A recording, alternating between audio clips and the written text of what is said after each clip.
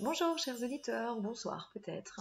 Voilà, ce poste pour vous faire partager, euh, c'est pas vraiment une expérience, enfin si, ça fait partie de l'expérience, mais c'est surtout une, constatation, c'est ce qui est ressorti ces derniers jours lors de consultations, et puis dans ma vie aussi, et je me suis dit, mais tout compte fait, ce serait peut-être bien d'en parler, d'en parler, euh, essayer d'être clair pour en parler, parce que c'est pas évident.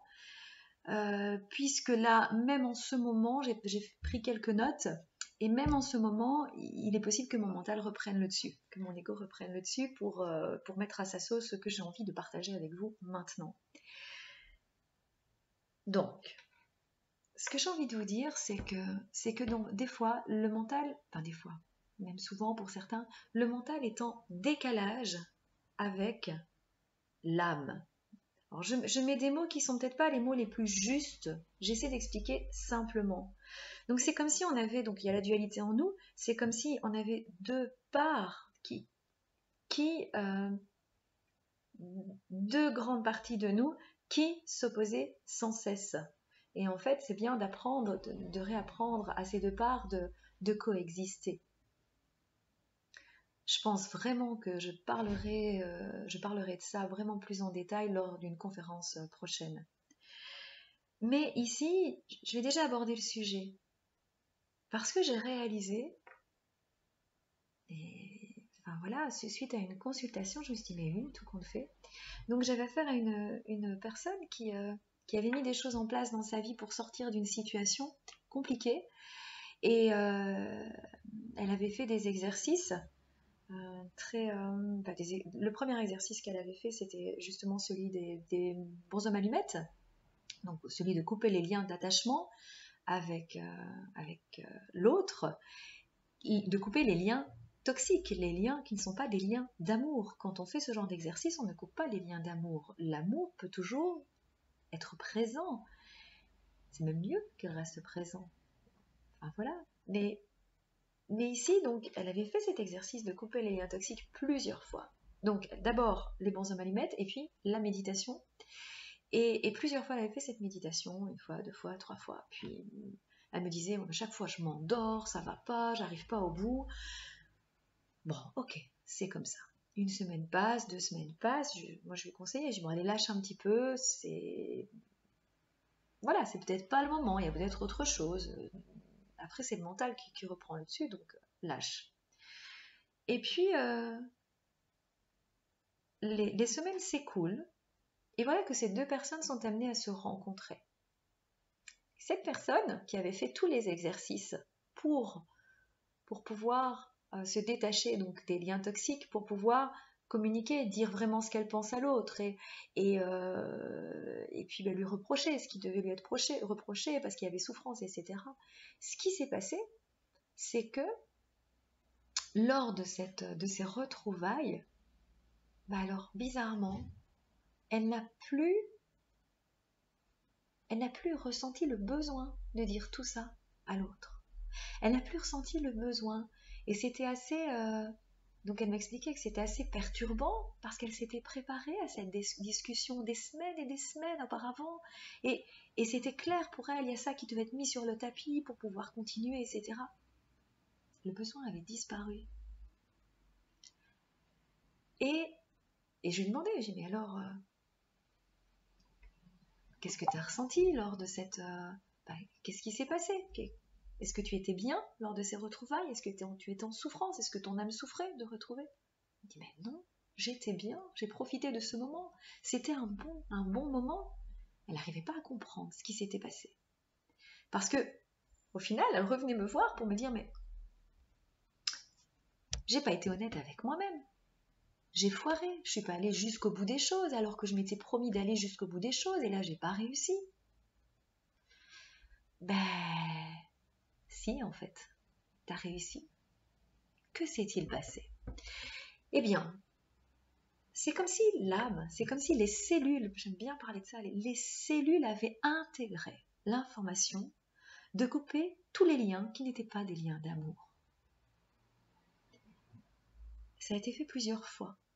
Alors oui, elle s'endormait pendant qu'elle faisait l'exercice, mais le message passait quand même. Et au final, le mental n'avait pas encore fait ce cheminement. Donc, le mental la maintenait dans cette zone de confort relatif, puisqu'elle était quand même en souffrance, mais une souffrance mentale. Le, alors quand je dis le mental, c'est plutôt l'ego. C'est l'ego qui, voilà, qui va utiliser le mental. Hein. On, associe les deux, on dissocie, mais enfin, ils sont, on va dire qu'ils sont copains, ils sont proches. Alors pour moi, c'est l'ego qui utilise le mental, mais c'est l'ego, c'est l'ego le problème. Enfin, le problème. En réalité, il fait ça pour, euh, pour nous mettre en mode survie, parce que c'est sa mission. C'est la mission de l'ego, c'est vraiment faire en sorte que euh, la personne survive. Mais, elle, elle ne vit pas, elle survit. Il la protège. Notre ego, c'est notre protecteur. C'est notre meilleur ami pour nous protéger. C'est pour ça que à certains moments, c'est important de dire Oh, oh, oh Ok, t'es là, je sais que t'es là, mon ego, mais, mais là, ça va. Je vais gérer. Donc, c'est l'âme qui dit ça. Je vais gérer. C'est l'autre partie de soi qui dit ça. Et, et ici, je, vais regarder au niveau de mes notes si j'ai bien dit. Oui, en fait, l'âme, quand je discutais avec la personne après ces retrouvailles, elle me dit Mais en fait, je souffrais pas, j'étais pas en souffrance, puisqu'elle est ressortie de ce moment de partage dans, dans, un bien-être qui l'étonnait vraiment. Elle était bien. C'était pas une création de l'ego. C'était vraiment, elle a vécu un moment authentique parce qu'il y a tout un travail inconscient qui avait été effectué, il y a tout un travail énergétique parce que pour moi les deux sont liés.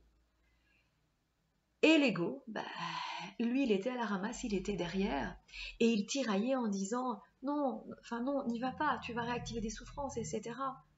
Il a raison, il y avait un risque qui était là. Ouais, mais enfin, le travail énergétique avait été opéré.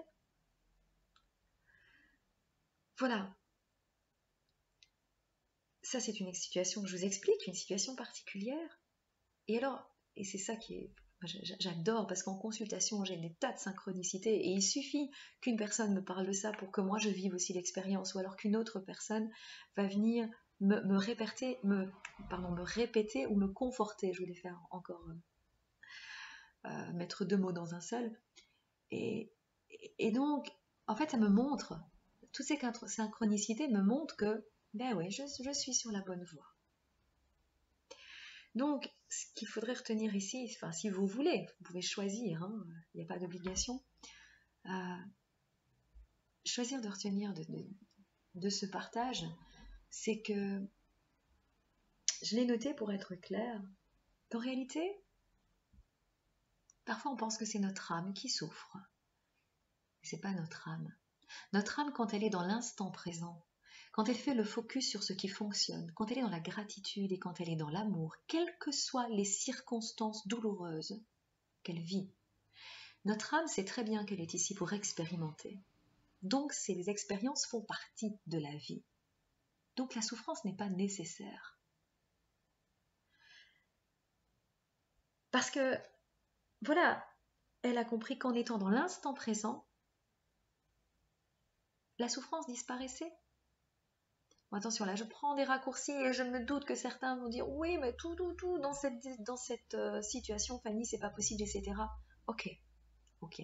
Je, ne suis pas du tout pour les généralités. Je parle en raccourci. Je parle d'expériences ici euh, qui se sont succédées ces derniers, jours et qui m'ont prouvé ça. Maintenant, un cas n'est pas l'autre, une expérience n'est pas l'autre.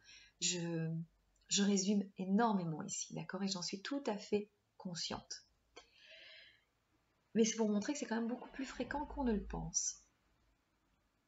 Et euh, voilà, pour revenir, et puis je termine, ce que je vous demande de retenir, c'est qu'en fait, l'ego est puissant.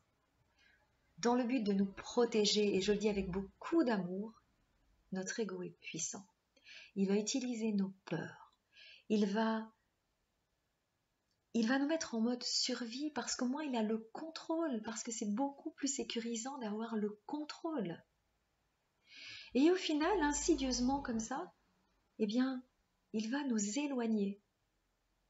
On, va s'éloigner, l'âme va s'éloigner doucement, l'intuition va s'éloigner doucement, subtilement, inconsciemment. C'est pour ça que le travail de dissociation entre l'ego et l'intuition est vraiment essentiel sur votre chemin de développement personnel, de votre développement spirituel. Parce qu'on pourrait même parler de l'ego spirituel. C'est un autre sujet. Mais euh, voilà, j'avais envie de vous partager cette pensée, donc pas vraiment préparée. Peut-être que je peux revenir sur cette vidéo en disant bon tout compte fait là je me suis plantée. Je ne le pense pas, je le pense pas parce que ça vibre ici à l'intérieur de moi. Mais c'est peut-être l'ego qui joue, j'en sais rien du tout. En tout cas, voilà, j'avais envie de vous le dire. Et cette, euh, cette réflexion me porte, m'apporte beaucoup d'énergie c'est aujourd'hui, euh, déjà depuis hier, donc euh, je maintiens tout ça. Allez, je vous embrasse, je vous dis à bientôt. Peut-être peut qu'il y aura une vidéo avant la, prochaine pleine lune, je ne sais pas encore. profitez aussi du portail énergétique de, de demain, du 11 du 11, hein, puisque j'ai vu plusieurs commentaires concernant les, effets miroirs. Il y, a, des articles très intéressants sur ce sujet. Alors, comme dans tout, vous prenez ce qui vous, ce qui vous fait vibrer, ce qui vous convient, et vous laissez de côté le reste. Ok? Restez critique. Soyez à l'écoute, mais restez critique. J'ai trop parlé. Je vous embrasse. À bientôt, chers auditeurs. Au revoir.